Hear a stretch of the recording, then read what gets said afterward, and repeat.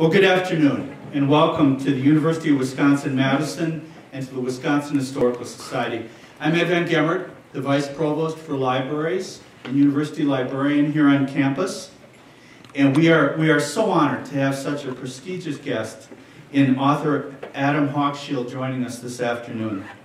But before we begin, I wanted to recognize those involved in coordinating our World War I commemorative events today. As 2014 is the centennial of the start of World War I, the libraries, along with its special collections, with partnership from the Wisconsin Historical Society, the University Archives, and the History Department's Mosse program, decided to commemorate the war along with its impact. We were fortunate to have a special donor, Dr. Andrew Stangel, who's here with us today, step forward to provide us with several impressive period items, which now make up a significant portion of the exhibit on display in special collections in Memorial Library. The Wisconsin, the Wisconsin, me, the Wisconsin Historical Society provided us with very interesting propaganda posters which can be viewed in the main lobby of Memorial Library. In addition to these items, and with the help of Mr. John Tortorice of the Mosse program, two very talented graduate students, Eric O'Connor and Skye Doney, curated that exhibit. So, to John, Andrew, Eric, Sky, and everyone at the Historical Society, thank you for your dedication. Your work helps us provide the public with an exhibit that is sure to help demonstrate the significance and the impact of the war. Also, please, yes, thank you. Thank you for that. Please join us as well over in Special Collections Department on the ninth floor of Memorial Library immediately following this lecture for a special guided exhibit tour by Eric and Sky, a reception, and a book signing by Mr. Hochschild. Now to introduce our guest speaker, I, would like to welcome Mr. Daniel Ussishkin, Assistant Professor of History here at UW-Madison. Thank you very much. Enjoy the time. It's a, a, great honor and a great pleasure to introduce our uh, speaker today. Um, there's no light here. Adam Hochschild comes to us from the very fine city of Berkeley, uh, where he teaches at the Graduate School of Journalism he is known to many of us as a distinguished uh, journalist, one of the founding editors of Mother Jones, has been writing on political struggles, social justice issues, and historical memory. He is also one of the most well-known and most influential public historians today. Part historian, part ethnographer, he has written moving accounts of modern South Africa uh, and of uh, the silences and memories of Stalin's uh, gulags in Russia as well as a very moving autobiographical memoir of his uh, uh, of father and son. Many of you here have uh, have read his King Leopold's Ghost on the atrocities of the Belgian king's uh, colony in the Congo and the international humanitarian campaign that followed, as well as his uh, Bury the Chains, law that is simply one of the best accounts we have of the campaign to abolish slavery in the British Empire at the end of the 18th century. His books received numerous awards, including the LA Times Book Prize, uh, PEN USA Literary Award, uh, the Gold Medal of California Book Awards, the Duff Cooper Prize, and many, many others, which I'm not going to uh, list here because it's going to take a long time. His books have generated far-reaching effects in the historical community and the public at large. Uh, one thinks of the International Storm, for instance, that followed the publication of King Leopold's Ghost recognizing his enormous contributions to the historical profession uh, and to the way history is written, discussed, or taught, and for his work to expand the space of the and the nature of public history more broadly, he has been awarded the Distinguished American Historical Association Roosevelt Wilson Prize in 2009. More recently, elected Fellow of the American Academy of Arts and Sciences. As Hochschild himself explains, He's particularly drawn to writing about times and places when people felt moral imperative to confront evil, such as the atrocities in the Congo or Atlantic slavery. In all cases, I think, drawing new connections between new uh, types between actors, historical actors, some of them familiar, many of them less familiar or unfamiliar, and in fact, people whose work to confront evil would later be, for whatever reason, thrown into oblivion or silenced. In the end, Hochschild's work gets us to think about the ways in which individual lives are both shaped by the tide of historical forces around us, but can and indeed do resist and transform them. His histories are human in the best sense of the word, about the ethical commitments that drove women and men to join forces in order to confront the crimes of others. Which brings me to his latest book, uh, modestly, I think, titled To End All, All Wars, A Story of Loyalty and Rebellion, 1914-1918. This is often described as a book about those who opposed the war, but I think it is about a lot more. Written as a collective biography, bringing together the military general with the Scottish miner, the socialist and the imperialist, East London and the Western Front. Hochschild, simply put, has written one of the best and most important books on the First World War in recent years.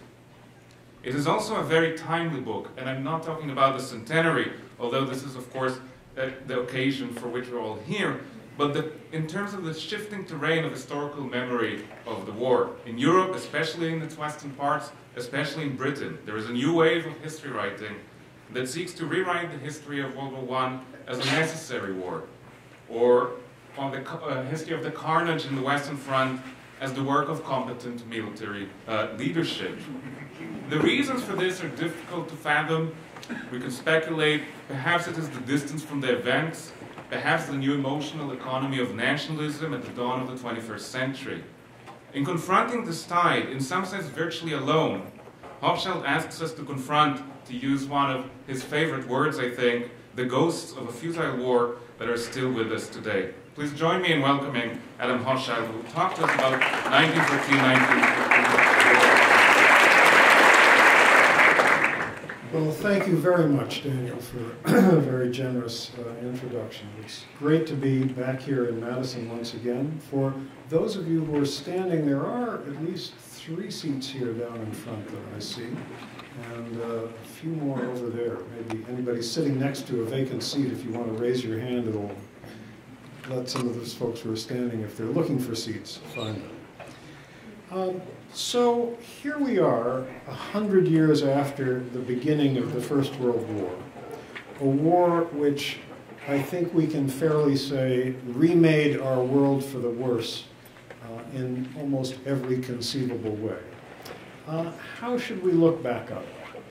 Uh, with the aid of some pictures, I want to share some thoughts on that subject with you.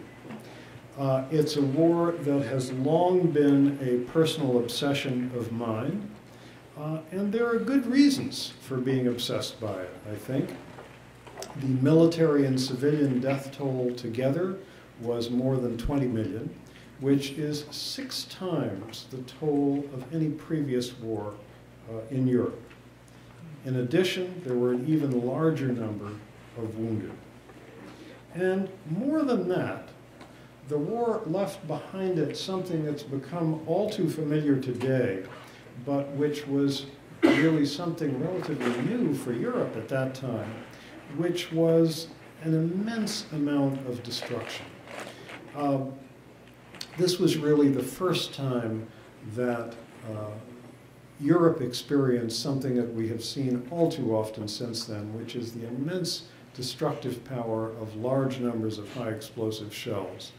In the First World War, it was particularly devastating because as the armies advanced and retreated on each side, as each army retreated, uh, they destroyed everything behind them that could be of any possible use to the advancing enemy. That meant blowing up buildings, cutting down fruit trees, uh, poisoning the wells, leaving scorched earth in every respect.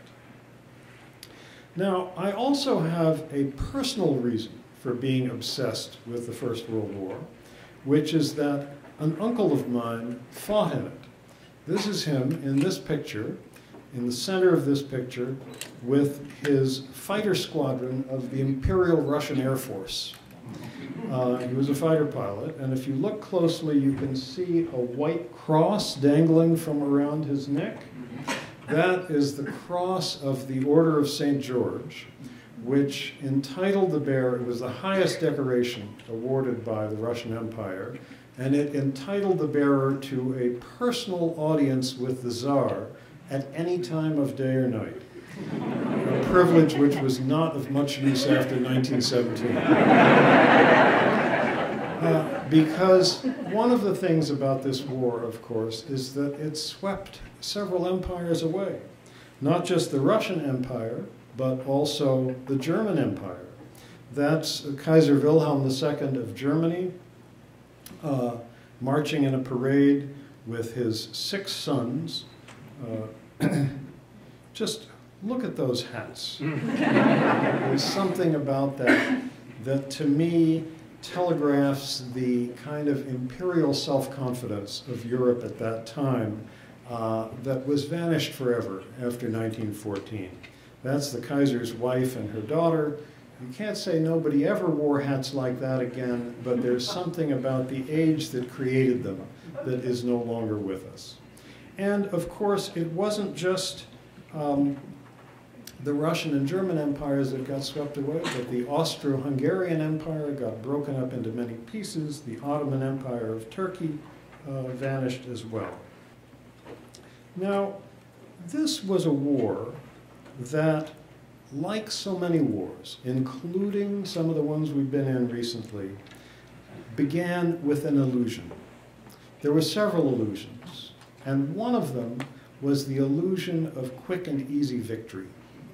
These are students in Berlin marching off to enlist in 1914.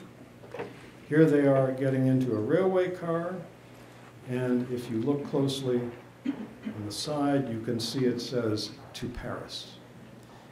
Here are Frenchmen rejoicing with equal enthusiasm at the beginning of the war, August 1914. Here's a railway car that took some of them to the front, and on the side it says to Berlin. So that was the first illusion, quick and easy victory, uh, an all too common one that helps wars begin.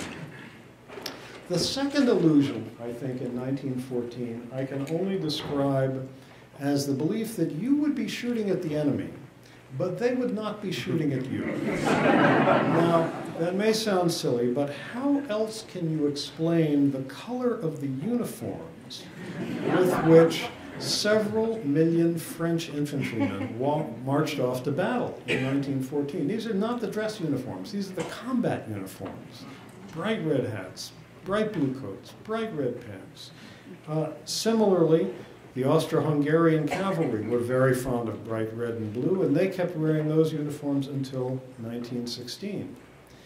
A third illusion was that the cavalry itself could play a role in industrialized war, warfare. Every nation entering the war had thousands, tens of thousands of armed soldiers on horseback, French cavalry here. Uh, these are the famous German Uhlan Lancers. When the Germans invaded France and Belgium in 1914, they did so with eight cavalry divisions uh, with a total of 40,000 men on horseback. Here's a British cavalryman, cavalryman practicing for those great, glorious charges that everybody expected to happen. Now, where did the illusion about cavalry come from? I think very simply because for several thousand years, cavalry had been uh, not only an important part of warfare, but often the decisive uh, arm in warfare. It was also a major path to military glory cavalry officers tended to get promoted uh, faster than those in other branches of service, and people are very unwilling to grasp it when something like that changes. Now, I think all three illusions, quick and easy victory, the other side not shooting at you, the cavalry, also were very strongly enhanced by the fact that when the war began in 1914, the previous military experience of almost all British, French, and German officers had been in colonial warfare. Look, for instance, at this panorama celebrating the British war in the Sudan, 1898. Uh, First of all, victory in that war was quickly and easily, easy. Second, there was a role for the cavalry. You see the guy on horseback in the middle of the, the, uh, the picture. Winston Churchill actually was a cavalryman in that war. And the third thing, the other side isn't shooting at you because they've just got spears and, and swords. And if you look carefully, the British not only have repeating rifles, they've got steamboats in the background, there's a, a railroad train in the far background, um, and of course they had the machine gun as well. Now, intellectually, people in Europe knew that they would not be going to war, uh, you know, in France and Belgium against poorly armed Africans or Asians, but somehow emotions, habits, the ways that armies think collectively are hard to change, and I think they all expected some of the same uh, conditions as they'd had in colonial wars. Um, all of those illusions ran up very quickly against uh, two of the greatest defensive weapons of all time, barbed wire, which of course rendered cavalry charges totally obsolete, and made it also very difficult for infantry to advance, uh, and the machine gun. And instead of those glorious cavalry charges that everybody had long dreamed of, uh, on the Western Front, both sides uh, got virtually frozen in place on that front line that went from the English Channel uh, to the Swiss border. And despite huge battles, uh, for more than three years, it barely moved more than a few miles in either direction. For example, 1915, which was a year that saw several major Allied attacks, probably during the course of that year, more than uh, a million soldiers were killed and wounded on both sides on the Western Front. The Allies gained by the end of the year exactly eight square miles of ground. And instead of having those glorious cavalry charges, people found themselves fighting in from these trenches. This is an aerial view of one of those uh, trenches from the air. The white that you see there, incidentally, is chalk in the soil. The soil is very chalky in parts of France and Belgium. And instead of the cavalry charges, they found themselves in this absolutely devastated landscape along the area of the old Western Front. More than, this, this by the way, used to be a forest more than 700 million artillery and mortar shells were fired over the course of uh, four and a half years, and this is what the land looked like afterwards.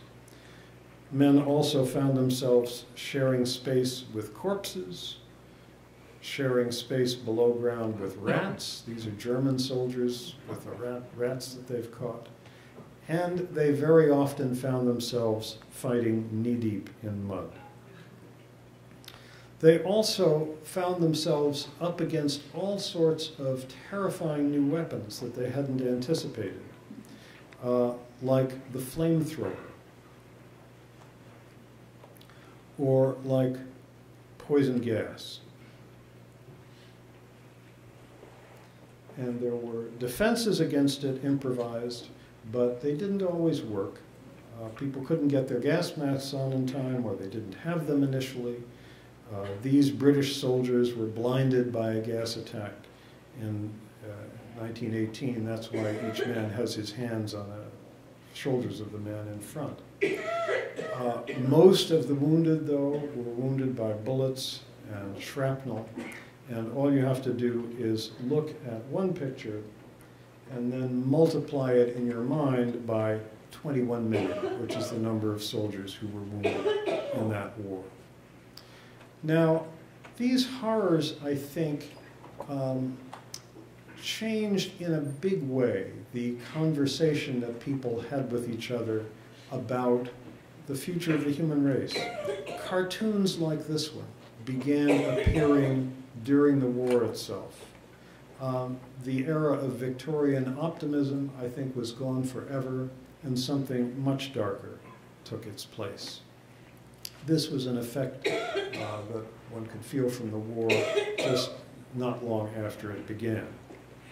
Now, there's another curious uh, thing about this war, which is this. Uh, wars are usually fought by the poor.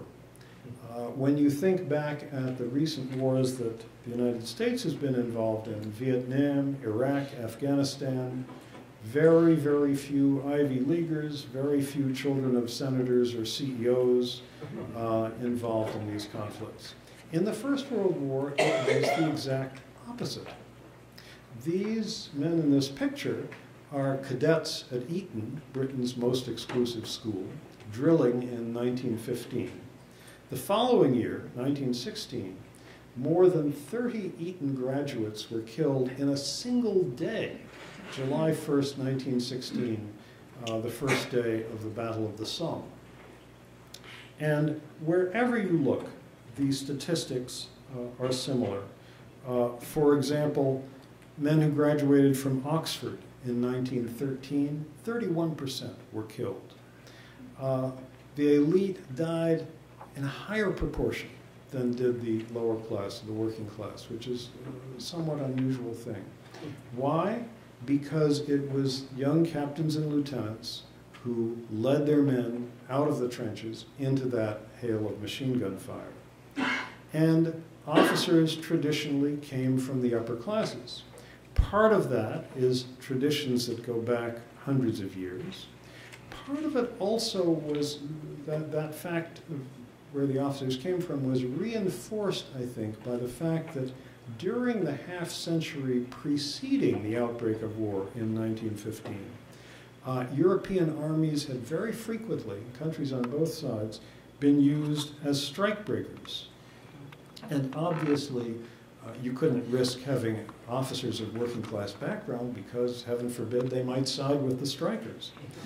Uh, and so officers almost always came from the aristocracy uh, or the upper classes, like these French cavalry officers here, uh, photograph taken in maneuvers before the war.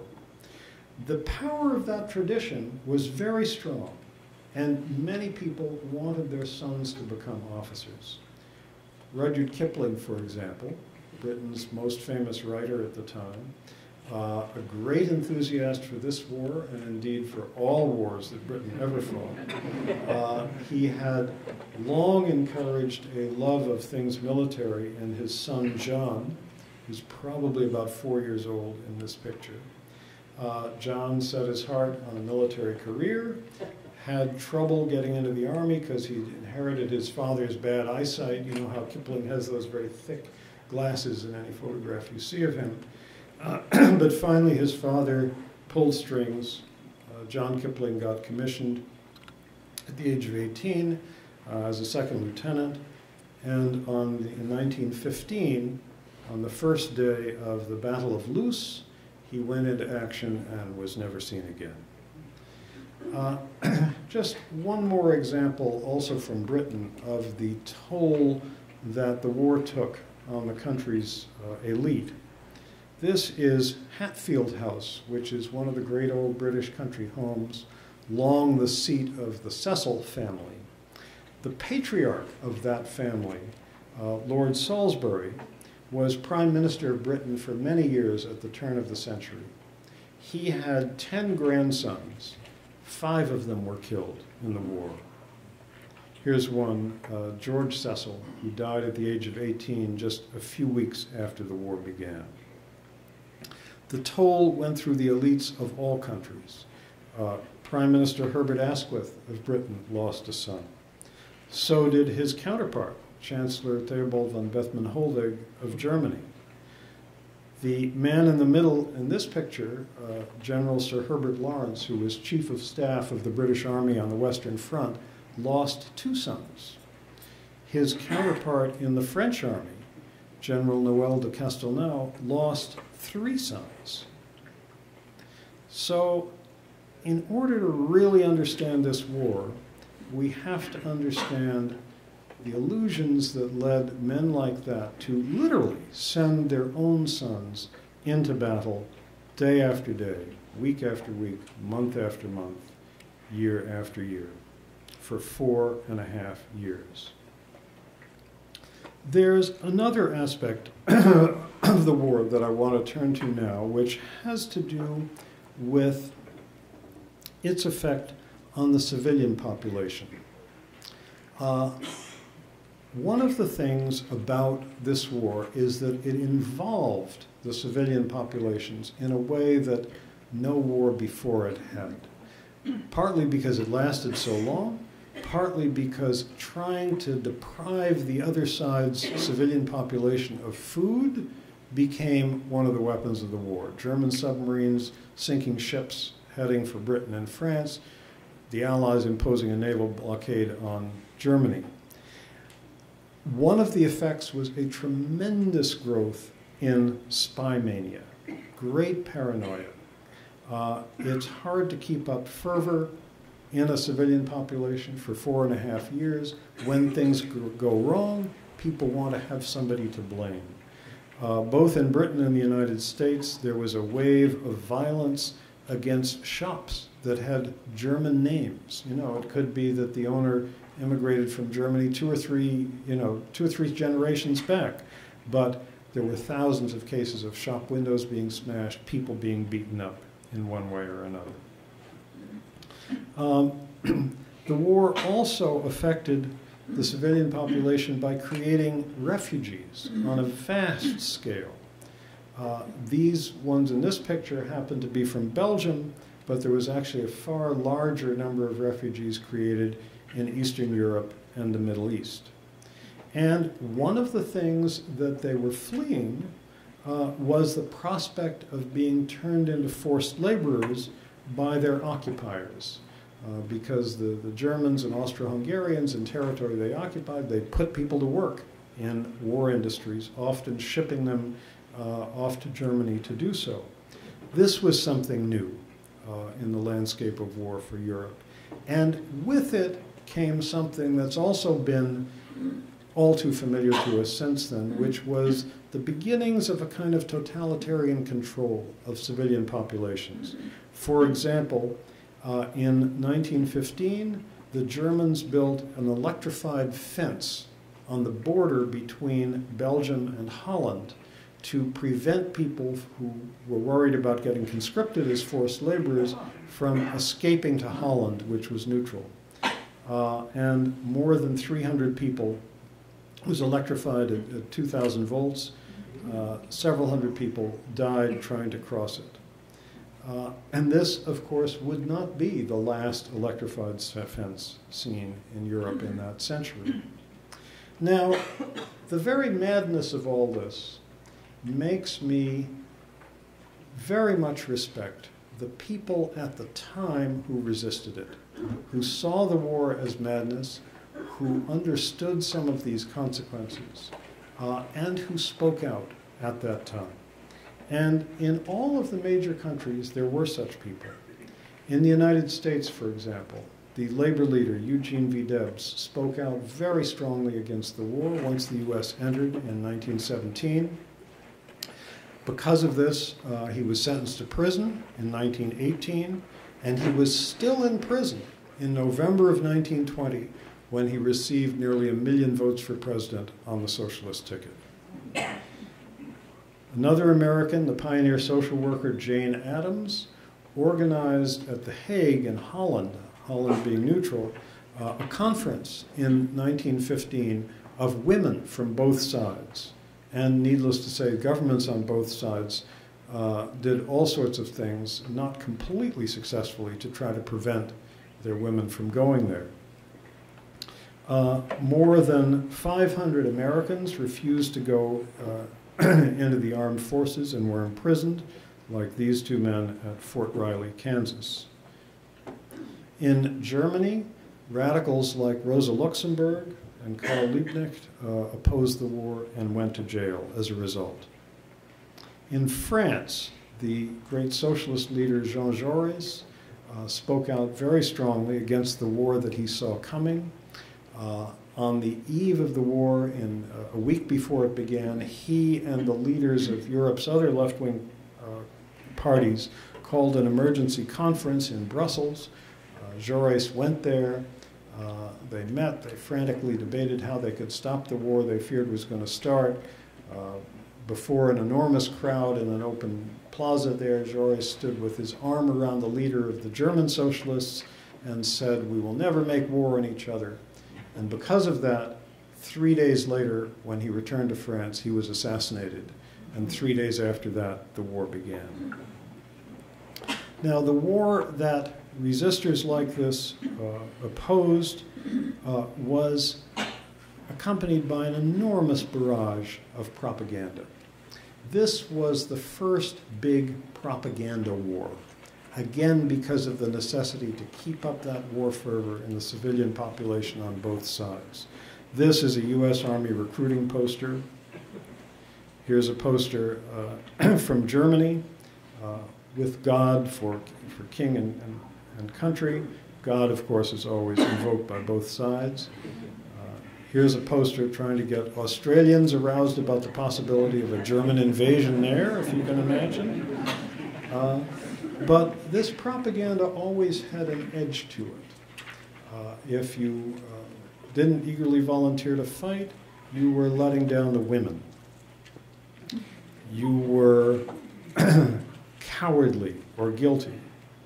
And worst of all, you were effeminate. So there was a nastiness to the propaganda, and I think it makes me respect the courage of the resistors all the more because of that. Now, for various reasons, there were more resistors in Great Britain than anywhere else. And so I want to focus on that country for, for a moment. Uh, more than 20,000 British men of military age refused to allow themselves to be drafted into the Army. And many of them, as a matter of principle, also refused the alternative service that was offered for conscientious objectors, because that could mean uh, being given a job driving an ambulance at the front or working in a war industry. As a result, more than 6,000 of them went to prison, uh, like this prison, which is uh, Wandsworth in southwest London, those metal nets you can see across the opening are to prevent people from committing suicide by jumping over the balcony. And they were an extraordinary group of people. Uh, here's one of them, uh, Fenner Brockway, who before the war was a newspaper editor. When he went to jail as a war resistor, he continued editing a newspaper for his fellow prisoners, a clandestine paper, on toilet paper. It was produced for a year before the authorities discovered it, shut it down, and put him in solitary confinement for the remainder of the conflict. Uh, Bertrand Russell, uh, Britain's most distinguished philosopher. Uh, and I want to read you a few things he said because one of the things that I respect so much about Russell is that he was open about the conflict of feelings that he felt he described himself at the start of the war as being tortured by patriotism, for I desired the defeat of Germany as ardently as any retired colonel. Love of England is very nearly the strongest emotion I possess, and in appearing to set it aside at such a moment, I was making a very difficult renunciation. He also wrote about how hard it was to resist being swept away when the whole nation is in a state of violent collective excitement, as much effort was required to avoid sharing this excitement as would have been needed to stand out against the extreme of hunger or sexual passion, and there was the same feeling of going against instinct. He spent six months in prison for his opposition to the war. Someone else who spent six months in prison was uh, Britain's leading investigative journalist, Edmund Dene Morel. If any of you have read my book, King Leopold's Ghost, you'll remember him as very much the hero of that story. He served his six months prison sentence at hard labor. It broke his health, and he died a few years later of a heart attack at the age of 51. Here's uh, another uh, war resistor in England, Charlotte Despard uh, one of these wonderful, feisty, eccentric uh, British radicals. Uh, she was active in all the movements for social change of her day. uh, went to jail four times in the battle for women's suffrage, uh, believed in independence for, for India, independence for Ireland. Uh, once the war began, she traveled up and down the country speaking against it. Her rallies were often uh, broken up by mobs throwing stones or shut down by the police. She visited the families of war resistors in jail, trying to keep her spirits up. Uh, this was a time, though, in Britain where, as we experienced here during the Vietnam War, families were often divided. For amazingly, uh, Charlotte Despard's brother, John French, was commander in chief on the Western Front. Uh, and as soon as I discovered them, I thought, wow, that's going to be an interesting relationship to write about. Uh, and indeed it was. Curiously, although each of them had had several biographies written of them, his biographers tended to be military historians who were a little embarrassed by the fact that their subject had this raging feminist radical sister, and they barely mentioned her. Her biographers tended to be feminists who were a little embarrassed by the fact that she had this field marshal brother. So the biographers were not interested in the relationship. I was. Uh, and curiously, this brother and sister were very fond of each other, despite their uh, enormous differences in politics. They continued to see each other throughout the war. Um, they stopped speaking only in 1918 because that year Britain faced a nationalist uprising in Ireland, and they thought that a military man with a strong hand was needed to suppress it, so they sent Sir John to Ireland as viceroy. Uh, she went to Ireland to work for the IRA, and they stopped speaking. Another British war resistor is a woman named Emily Hobhouse, who did something quite remarkable. In 1916, she crossed the English Channel to France, and then she went from France to Switzerland, which was neutral. Then she went from Switzerland into Germany, and in Germany she went to, Ber to Berlin and went to call on the German foreign minister, whom she had known slightly before the war. And she began talking about peace terms. You know, if we did this, might you do that, and so forth. This totally unsent by the British government or anything. She thought she had, wrongly, I think, the outlines of a possible peace settlement that the, Germ that the Germans might accept, returned to Switzerland, to France, to England, uh, tried and failed to see people high in the British government who were horrified uh, that she had gone to Germany, and uh, wrote her off as a complete eccentric, but uh, crackpot. But I think she deserves a place in history because in this war that killed so many millions of people, she is the only human being who went from one side to the other and back again in search of peace. Here's my favorite war resistor of all, uh, a man named John S. Clarke, who was born to a circus family in Scotland and at the age of 17, he went into the ring and became the youngest lion tamer in Great Britain. Uh, then he got deeply involved in radical politics, uh, very opposed to the war. In 1915, a friendly policeman tipped him off that he was about to be arrested. About to be arrested, he went underground. For the remainder of the war, he continued writing for and editing an anti-war newspaper that the government tried to shut down, but they could never find where it was published from. Uh, they didn't succeed in shutting it down or in catching him.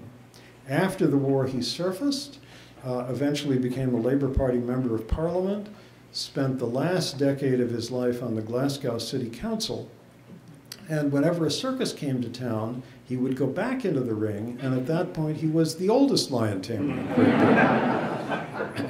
this is one of the joys of writing history, that you find people like this. You, you couldn't make them up.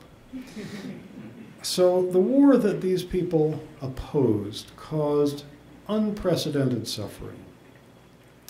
And it spread across the world. Uh, from the very beginning, of course, in Europe, it had happened not just on the Western Front, uh, but also in Eastern Europe and Russia. These are Cossacks in this picture here. It spread, of course, to the sea.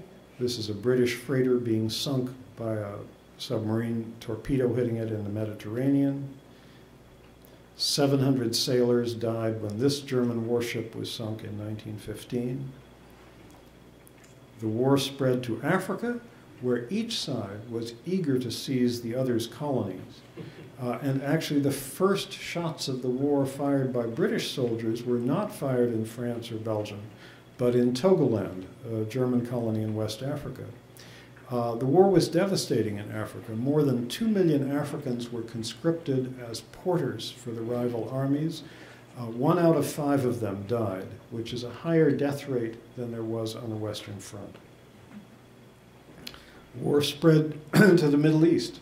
This is an Australian military camp at the base of the pyramids.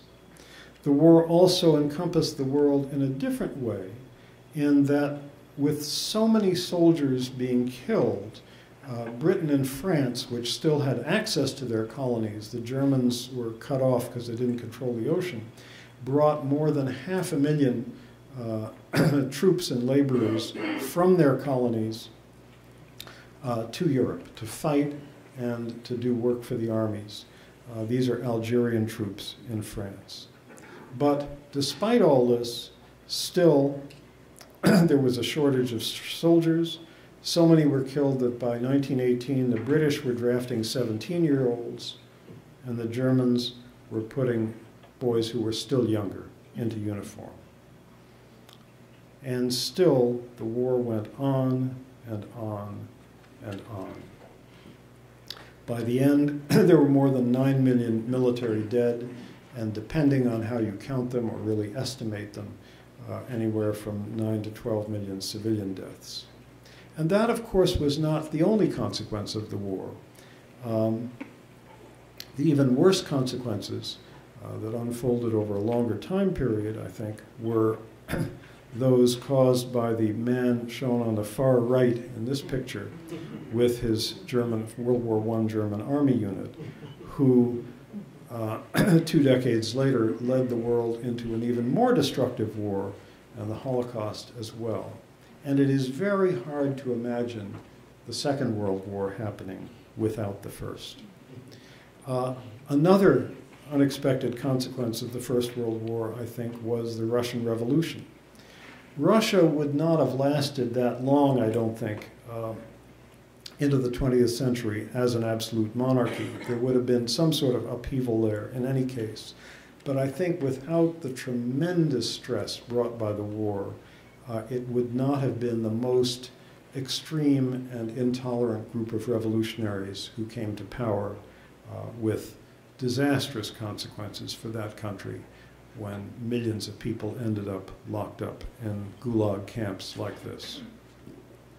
So when we look back on the war, uh, I want us to remember not just the politicians and not just the generals, but those who tried to stop it. Uh,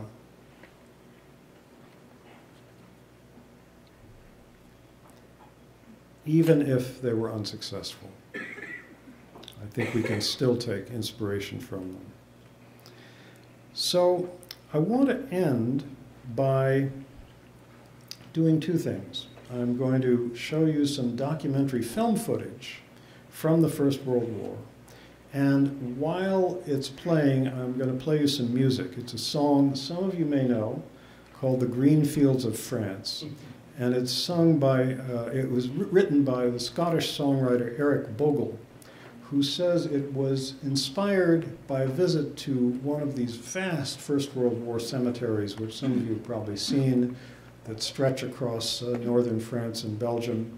And he noticed the name of a soldier on a tombstone, McBride, and the song is addressed to him. So listen to the words of the song.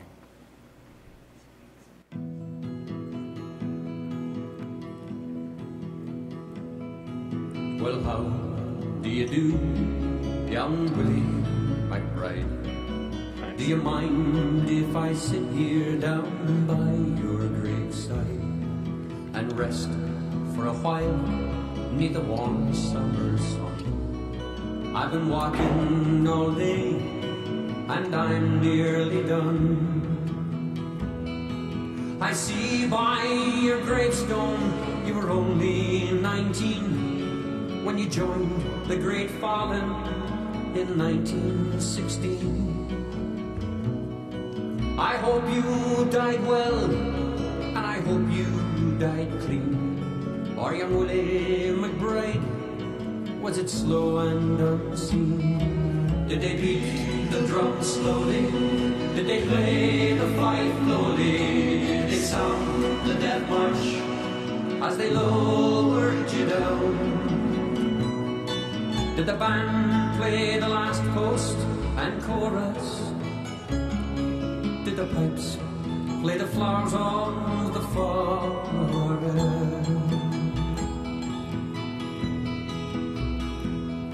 Did you leave a wife or a sweetheart behind? In some faithful heart is your memory enshrined. Although you died back in 1916, in that faithful heart are you forever 19? Or are you a stranger without even a name? Enclosed then forever behind a glass frame. In an old photograph, torn, battered, and stained, and faded in a brown leather frame. Did they beat the drum slowly?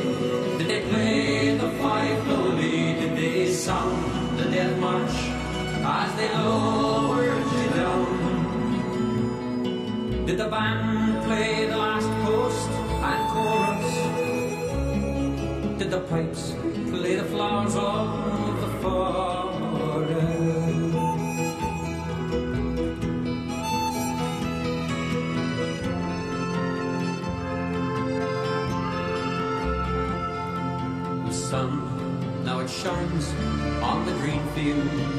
There's a warm summer breeze, makes the red poppies dance.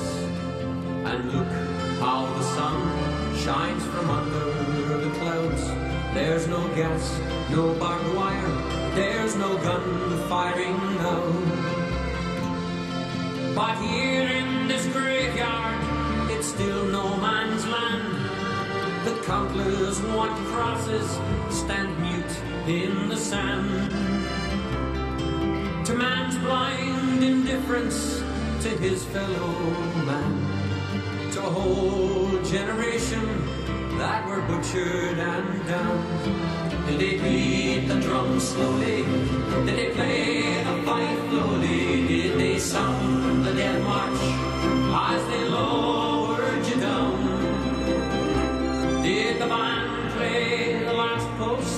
and chorus?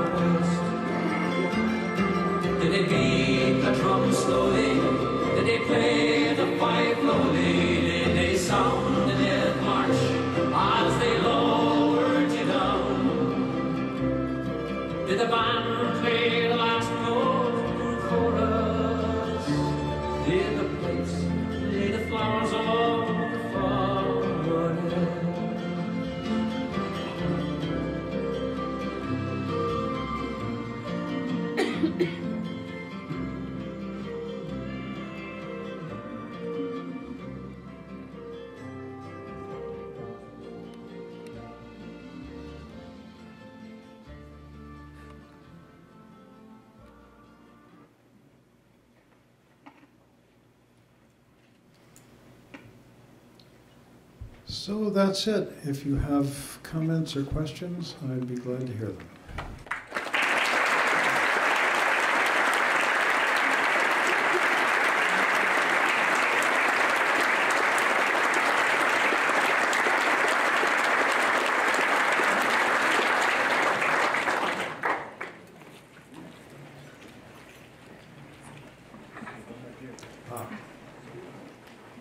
And France, Britain and Germany were each other's best customers in 1914. Usually, you don't go to war with your best customer. Why did they go to war with each other? Okay, let me repeat the question. Britain and Germany were each other's best customers in 1914. True. Usually you don't go to war with your best customer. Also true. Why did they go to war? Uh, you know, it's true that a lot of the usual explanations don't apply here. There was certainly no push at all from the British uh, business elite to start this war. In fact, the Prime Minister made a note in his diary in uh, uh, July of 1918 the city, meaning the financial district of London, does not want war. Uh, the German elite was somewhat more divided, although they assumed, incorrectly of course, that Britain would stay out of the war. Their real concern was Russia. And there was uh, a lot of people in Germany who saw that what they wanted to accomplish from the war is deciding, is making it, clear that for once and for all that it would be Germany and not Russia which would be the influential power uh, in Eastern Europe. Why the war started is a very complicated question uh, that involves a chain of events that began, of course, with the assassination of the Archduke uh, of Austria-Hungary in Sarajevo, uh, June 28, 1914, and six weeks later the country, the whole continent was in flames. It's a complicated explanation, one piece leading to another, and we'd be here all night if I tried to run through it. I think that what I would just emphasize is this was a war that did not have to happen. No major country in Europe openly claimed a piece of another's territory. Uh, they all had tight trading ties. There were 50,000 Germans who were working in Britain because wages were slightly higher there. The royal families of, of Russia and Germany had gone on yachting holidays together in, in the Baltic. And royal families had influence in those days. Um, but it was a chain of accidents, and I come back to those illusions that I mentioned, I think were prime factors in why the war started. Yeah. Um, I think it's fitting that you ended uh, your presentation with the green fields of France. And it's also very fitting to note that it's also been translated uh, into German, and you can find several versions of it on uh, YouTube. I guess my question is this. Um, do you think that it was the fact that so many upper class uh, individuals uh, were killed uh, in the First World War that was the cause of the uh, over extreme pacifism that prevailed in Britain and France in the 1930s that you know led to a more bloody war ultimately? Good question. The question is, is the fact that there were so many upper class people killed in the war, is that what led to the pacifism of the 1930s, which was a factor in you know, appeasing Hitler and allowing the Second World War to start? Uh, possibly yes, uh, because certainly the uh, appeasement policies of the 1930s in Britain and France were much more an upper class and right wing thing than they were left wing and lower class. But the collective trauma that both those countries had had from the war was so vast that it's hard to trace all of the effects that it had. Yeah. And uh, it was even more amazing that the, or what the King of England, the Kaiser, and the Tsar, they were, they were cousins. They, they were all related, that's right. Victoria was their grandmother. The, the, the king, the Kaiser, and the Tsar were all, were all cousins, and they all knew each other. Uh, but still, that was not enough to stop it. I should maybe just say a little bit more about, I think, why the war got started so easily. Um, I mentioned the illusions, uh, quick and easy victory, uh, and so forth. But there were a couple of other factors. One was that, with the exception of Britain, all of the other countries had most of their forces in reserve. That is, only a portion of the army was on active duty. The remainder were men who had spent two or three years of military service, but were in the reserves, you know, like National Guardsmen here, who could be called up. And it took about two weeks to fully mobilize one's reserves, longer in the case of Russia, which was a much larger country and more badly organized. And you had a tremendous head start if you could start mobilizing your reserves before the other guy. You also had an advantage if you attacked first, because that meant the fighting was likely to take place on the other country's territory. So I think those were factors that added to the momentum. Were there any war crime trials after the war? Were there any war crime trials after the war? No. There should have been, but uh, there weren't. Uh, it's curious to say what the war crimes of the First World War were. Uh, there were, you know, some a lot of harsh crimes against civilians uh, committed by the German occupiers of France and of the various parts of Eastern Europe that they occupied. But I think the real crime was that uh, the generals on both sides kept sending these young men out to what eventually became their deaths, uh, and sometimes even measured their successes that way. Uh, for example, Field Marshal Haig, who was British Commander-in-Chief uh, for the latter half of the war, uh, had no way of telling what German casualties were after a particular battle uh, or a day of battle. He, of course, knew what the British casualties were. He had no way of telling what the German casualties were, but he always guessed that they must be roughly equal to those of the British. So when his own troops had relatively few ca casualties, he berated his generals. You know, why is it that, you know, only 500 men were killed in yesterday's fighting? And you can actually find this stuff on paper. It's amazing. Yeah. Um, So given the fact that uh, a lot of the troops were fighting in very close proximity and, and, and spent months or years with, clo- close by the other, to the other troops, was there a difference in the perception of the enemy between the troops and the people at home that, that were only hearing sort of propaganda and reading the newspaper? The question is, did the perception of the enemy uh, differ between people back home who were seeing newspapers and propaganda and the troops who were actually in close proximity uh, to each other and could sometimes, in fact, shout back and forth to each other? I think there was, because anybody who was in a frontline trench, you know, up to his ankles in, in cold, muddy water, knew that on the other side, uh, the German or the Frenchman or whoever was there was also probably in the same position.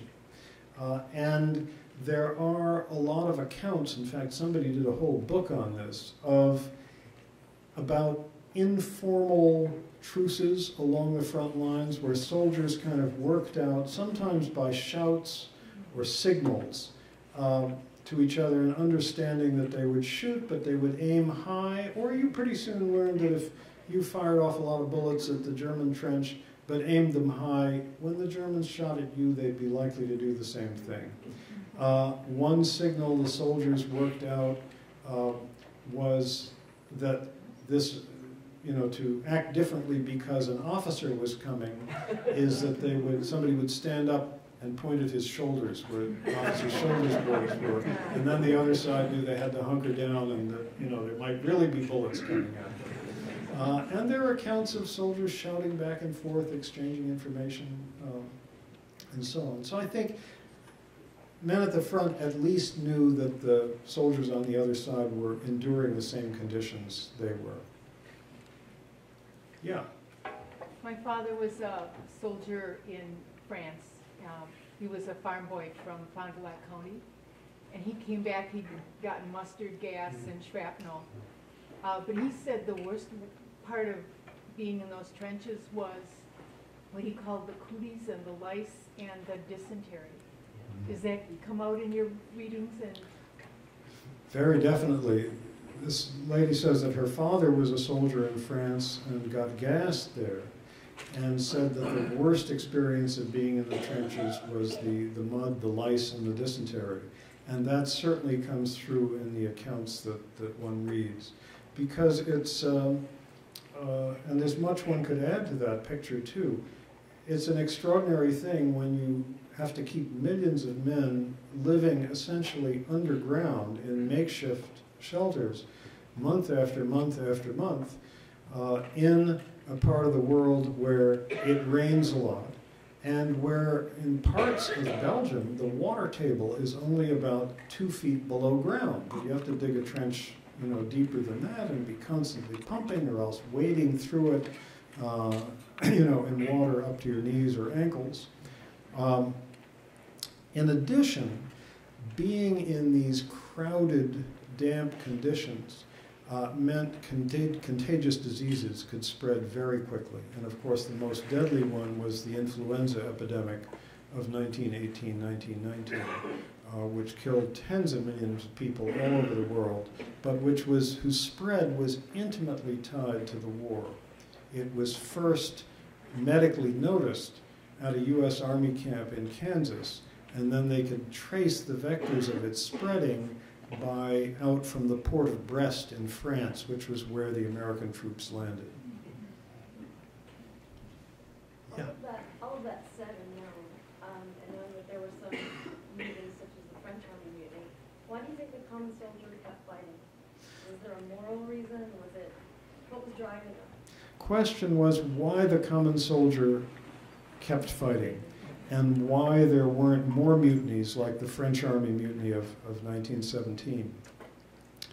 Uh, I think that, of course, the common soldier didn't keep fighting in all circumstances. In the year 1917, more than a million Russian soldiers simply left the front and walked home. And that's why the Germans essentially were able to dictate the peace terms in the East, that the Russian army basically just melted away. Uh, there were also, as you mentioned, the French army mutinies uh, that same year in 1917, which were not a complete mutiny. The French soldiers didn't desert en masse, but they refused to take part in further attacks. Uh, and uh, towards the very end of the war, the last weeks of the war, there was a tremendous amount of desertion on the German side, not at the front, but in the rear.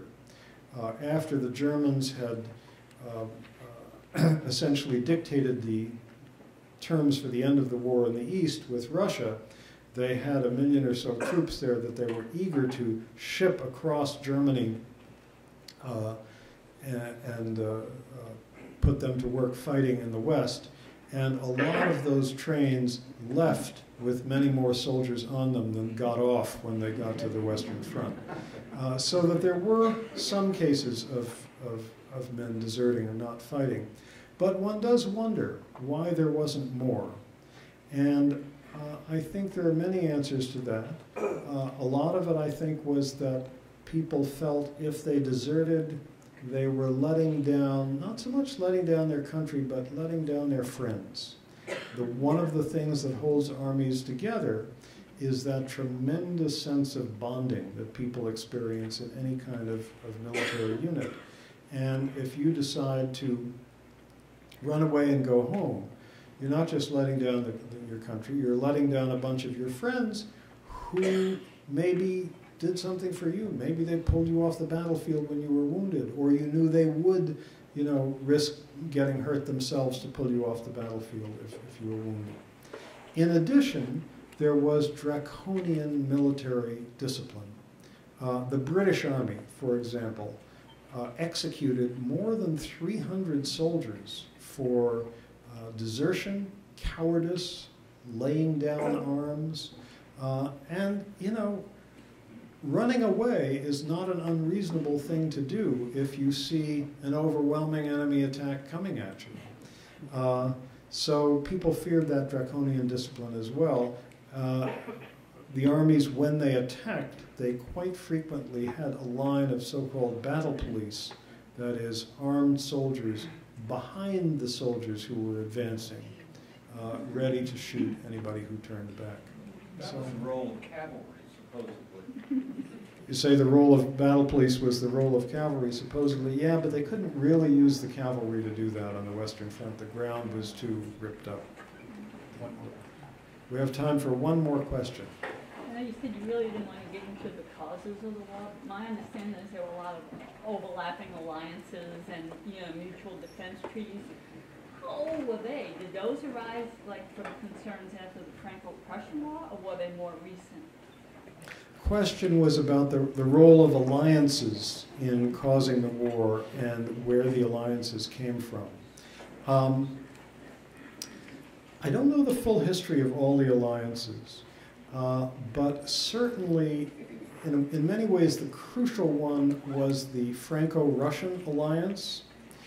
France was very eager to be allied with Russia because France had lost the Franco Prussian War to Germany and they had lost the provinces of Alsace and Lorraine, which were dear to the hearts of many people in France. And they were eager to have Russia as an ally, somebody who would agree to come to their aid if France were, were attacked. Uh, Russia had its own motives for wanting to be in that alliance.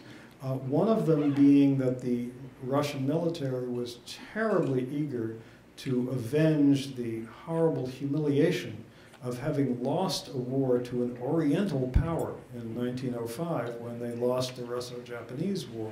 So the Russian military was desperately eager to show that it could fight a war as well as anybody else. And uh, there were close ties between the Russian elite and France, and they were, they were very eager to befriend the French. So, but the fact of these alliances, uh, the fact that there were countries obligated to jump in if one of their allies was attacked, certainly was one of the things that led to the rapid start uh, of the war. And I think without the alliances, it would not have started so quickly. So, that's it.